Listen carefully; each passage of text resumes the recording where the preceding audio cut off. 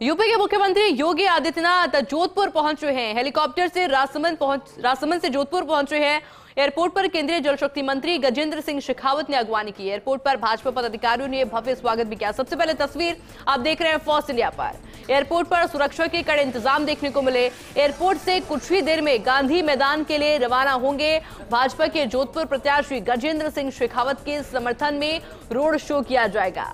गांधी मैदान से जालोरी गेट तक ये भव्य रोड शो होगा, जिसको लेकर मुख्यमंत्री योगी आदित्यनाथ जोधपुर पहुँच चुके हैं। और देखिए, किस तरह से वेलकम गजेंद्र सिंह शेखावत के द्वारा किया गया है।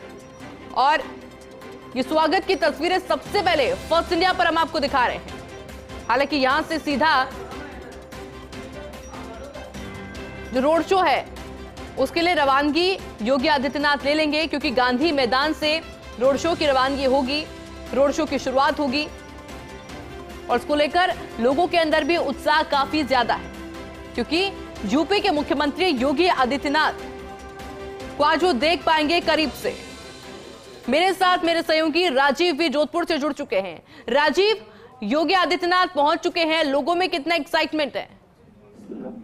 देखिए, निश्चित रूप से जब जब भी वो चुनाव के दौरान आते हैं और बिना चुनाव के जब आते हैं तो उनको देखने के लिए, उनको मिलने के लिए, उनके साथ सेल्फी, फ़ोटो खिंचाने के लिए लोगों को उत्साह रहता है। आज तो जबकि मौका चुनाव प्रचार का है तो निश्चित रूप से कुछ देर बाद रोड शो होगा, लेकिन एयरपोर्ट के भीतर की बात करें, केंद्रीय जल शक्ति मंत्री गजेंद्र सिंह शेखावत है, विधायक देवेंद्र जोशी हैं, अतुल बंसाली हैं, और जो जिलाध्यक्ष सालिचा हैं और वहाँ पर वनिता सीट ने अगवानी की है उनकी, और भोपाल सिंह बडला भी मौजूद है। कुछ देर बाद यहाँ से गांधी मैदान जाने का कार्यक्रम है, जहाँ भाजपा के कार्यकर्ताओं में अपार उत्साह देखा जा रहा है। केंद्रीय मंत्री गण सिंह शेखावत ने गणन जोशी से उनका स्वागत किया।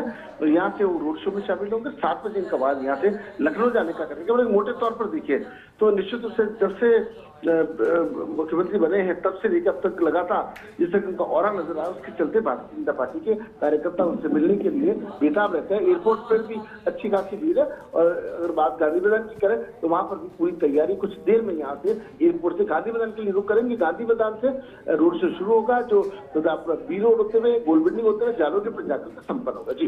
बिल्कुल, राजीव, नज़र बना रखे पल पल की अपडेट आपसे लेते रहेंगे। फ़िलहाल के लिए आपका बहुत बहुत शुक्रिया।